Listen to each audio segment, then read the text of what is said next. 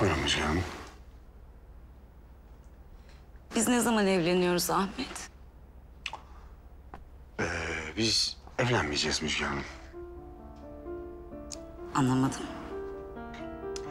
Anlaşılmayacak bir şey yok. Ben size evlilik teklifi yapmadım. Şaka mı bu yani? E, kim yaptı o zaman öyleyse? Yani bilmiyorum ama kim yaptıysa size bu teklifi lütfen gidin onunla evlenin. Gerçi adam toprağın altında ama... Yani sonuç olarak ben sizinle evlenmeyeceğim Müjgan Hanım. E, bu işi unutun lütfen tamam Ay bizim öğrencilerin çocukların söyledikleri doğruymuş demek. O güzel kız sizin kuzeniniz değilmiş. Kız arkadaşınızmış, sevgilinizmiş yani. Ya yeter ama ya. Diyorum işte yani anlatamıyor muyum? Sevgilimse sevgilim. Bundan size ne ya? Ama nasıl olur? Bir dakika.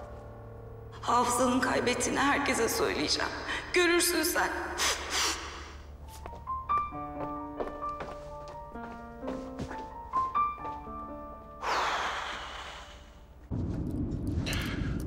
Ömrümü bu kelepçeleri suçlulara takmak için harcadım ben.